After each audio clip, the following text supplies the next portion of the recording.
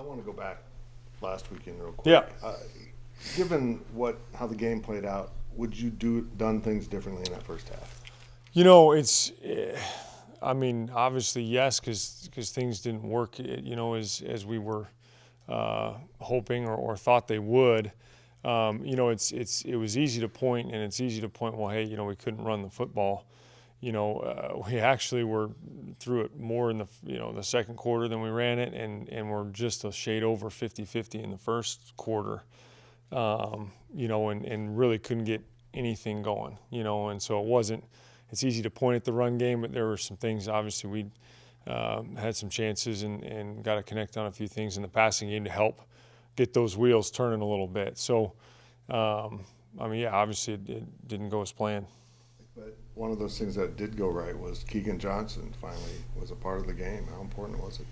Uh, I was really proud of him, you know, and, and obviously, you know, in an environment like that and, and, and against a defense like, like they were, being able to uh, do what, you know, we, we knew we could do and, and uh, uh, you know, and even bounce back through adversity. You know, obviously, uh, you know, the one play goes awry and, and being able to get right back in there and uh, grind it out and, and come up with some huge plays for us. So extremely proud of him and, and uh, you know, know there's a lot more uh, in the future, you know, uh, from him. So.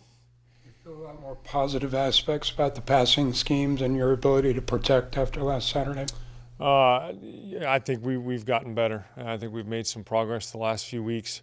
Um, you know, got to continue to do so. And uh, but no, I, I thought uh, Will did. Will really got in a nice rhythm there in the second half, and uh, guys were making some plays and, and a couple really good uh, efforts after the catch. I know Phillip's touchdown catch in particular. I mean, being able to you know, take a 15-yard throw and, and turn it into an extended touchdown, making a couple guys miss, stay in bounds was was a huge play.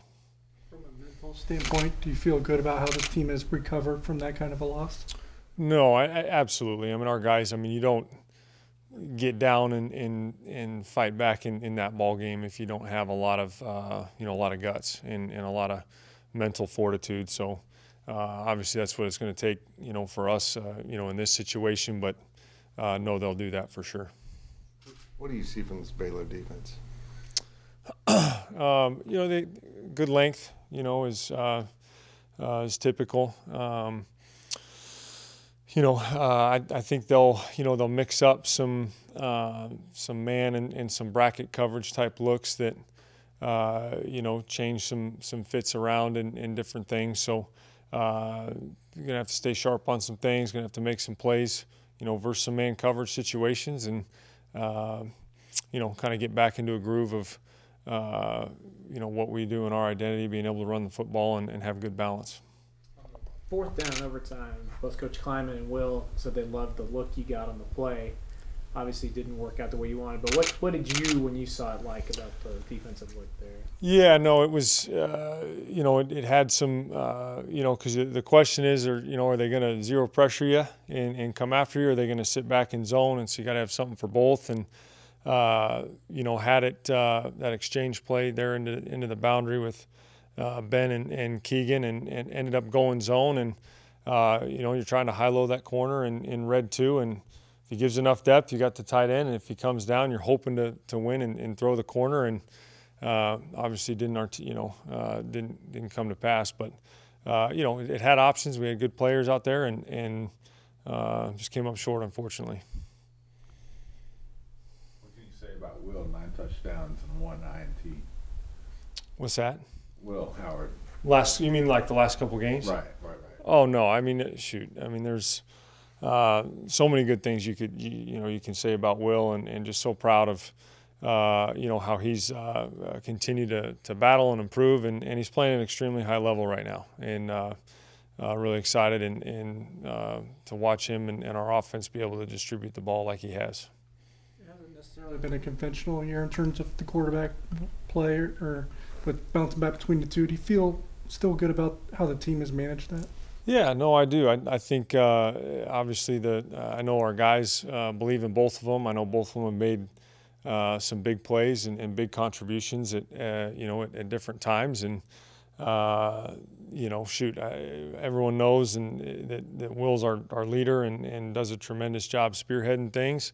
Um, you know, and, and Avery's done a great job of, of stepping up and being ready and, and making plays when uh, when he's had the opportunity to do so. So, uh, uh, really happy with both of them. Will's two touchdown passes away from the school record, tying it. Is he underappreciated for his accomplishments? Uh, you know, I, I think it's uh, you, you always appreciate the appreciation, you know, but if at the end of the day, it's it's you do it because you love it. You do it because uh, God's given you the ability and the opportunity, and, and I know that's why He does it, you know, and, and so I think that kind of rides out some of the uh, the highs and or lows that that you know he's experienced during his career and and have kept him very consistent, um, you know, through that. So. Um, I'm super proud of him, and it doesn't surprise me a bit that, that he's had that kind of uh, that kind of production. How do you feel about the level of readiness for the backup across the offensive line? Backups, that is. Um, you know, I, I think we've uh, I think we've gotten better, uh, no doubt. Uh, you know, you look at uh, just the the strides that uh, you know Carver's been able to make this year, um, being able to see uh, TP put together. Uh, you know, close to a full season, I guess. We're not there yet, but being able to see him out there, uh, you know, consistently and, and, and put in that work. And, uh, you know, those guys are, competing every day. And uh, Coach Riley does a great job of challenging and, and developing those guys uh, in practice uh, and, and through the games. So I'm excited about some of the young guys we have behind, you know, the experienced guys we have out there. If you look at the passing stats last week, purely in terms of the wide receivers catching the ball, I think it was the most yardage you guys put up since week one. Is there anything about that group that's just kind of coming together right now? Um, yeah, I, I think it's uh, uh, again, it's it's a combination of uh, of everyone. Uh, when things go well, just just like it, you know, when when you struggle, and it's.